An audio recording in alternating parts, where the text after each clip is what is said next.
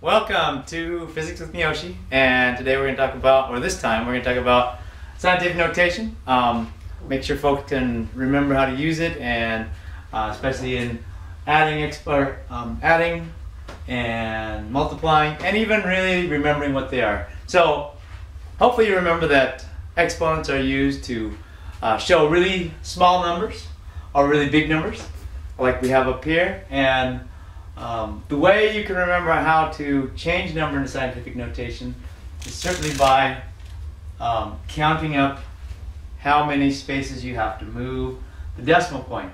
Now, normal scientific notation looks something like this. We have a, a coefficient, or sometimes they call that the mantissa, and it is a whole, well, it's a number, it's a, a real number that's got uh, one number to the left of the decimal point. And then when it's in normalized fashion, it's got that one number to the left of the decimal point, and then it's got the times 10 to the exponent. Okay? So, if I was going to change this to normal scientific notation, what I can do is count how many units I would have to move to the right. But I want to show you something else instead. We can have, well, first, this guy here can be written in several different ways in non-standard scientific notation. So if I just move this guy over 1, then this would be point zero zero zero one times 10 to the negative 1. So if I'm going to write it this way, notice that uh, this really is times 10 to the 0. So what I'm doing is if I move this exponent to the right one, then this exponent here has to go left one or down one. So now I can move it again to the right, and if I do, I do this right, I could do 0.001 times 10 to the negative 2 in this case.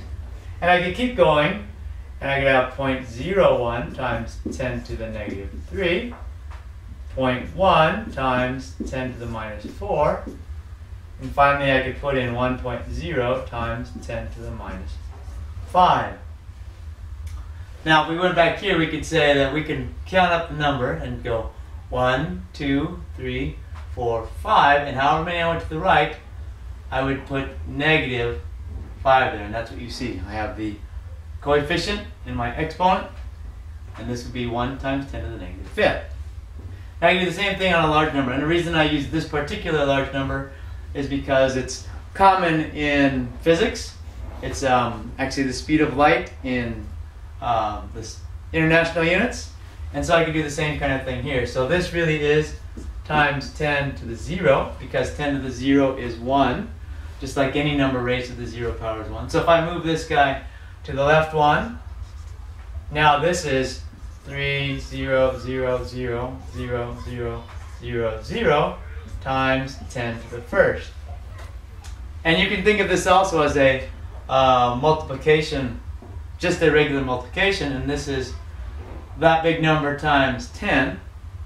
I do the same thing again. 3, 0, 0, 0, 0, 0, 0 times 10 squared, because I'm moving it back 1 again. And so if I move it to the left 1, I need to raise this exponent 1 to keep it equal. Same thing, and I'll just keep going, times 10 to the third. 3, 0, 0, 0, 0 times 10 to the second. Oops, sorry, fourth.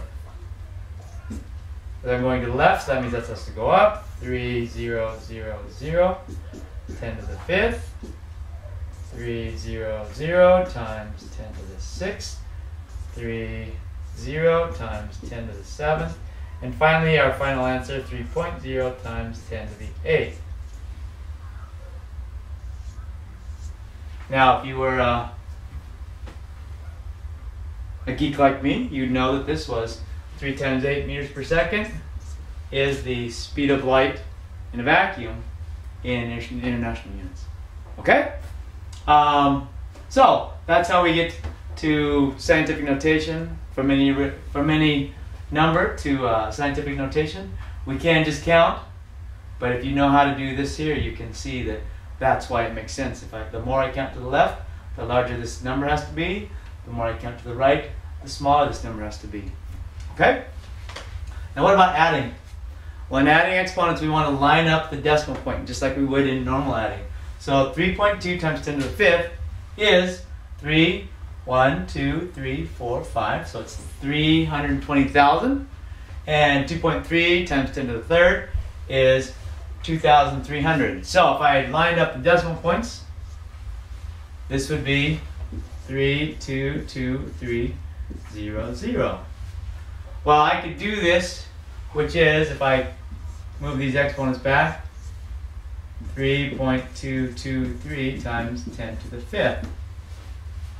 Okay, well I could do that just by changing my exponents, and I will do that down here just a little bit. So I can have 3.2 times 10 to the fifth, and 2.3 times 10 to the third.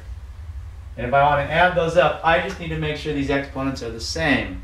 So what I'm going to do is I'll make them both 5, because that's a little bit larger. And so this becomes still 3.2 times 10 to the fifth. And like we saw over here, if I want to make this number larger, I'll move that decimal point to the left. So this becomes point, so I want this to be 10 to the fifth. I have to move it over 2. If I move it 1, 2, 1, 2, this would be point 0, oopsie, line that up, point 0, 2, 3. And you can see now I add up my exponent, I leave my exponents the same. And now I have add them up and I have the 3 and the 2. The 2 plus 0 is 2. And I have 3.223 times 10 to the fifth. Okay? So adding exponents, we want to make sure we get the exponents the same. Or adding uh, scientific notation, make sure your exponents are the same. And uh, you can just adjust them and then you can add the numbers, the real numbers, the coefficients. Okay? So, last but not least, when we multiply numbers, we want to first multiply the numbers or multiply the coefficients. Then we're going to add the exponents and then we're going to simplify, or in other words, make it back to uh, normal scientific notation, or which is the uh, one number to the left of the decimal place. How do we do that? Well, this is 3 times 2 is 6.0 times adding my, adding my exponents, it's 10 negative 4 plus 6, which is going to give me 6.0 times 10 to the negative 2. Oops, can't add very well, that's positive 2. Negative 4 plus 6 is positive 2. So, 6.0 times 10 squared, or 600. Okay? I do the same thing down here. Uh, this one's a little bit, not, not tougher, but it's, it's a little bit different. 6 times 4 is 24 and I add my exponents. So this is 10, negative 3 plus negative 6. So this is 24 times 10 to the negative 9. Well, 24 is not normal scientific notation, so if I look back over here again, I moved the exponent uh, from the right to the left, so I'm going to add 1 to there, so I just bring it back 1.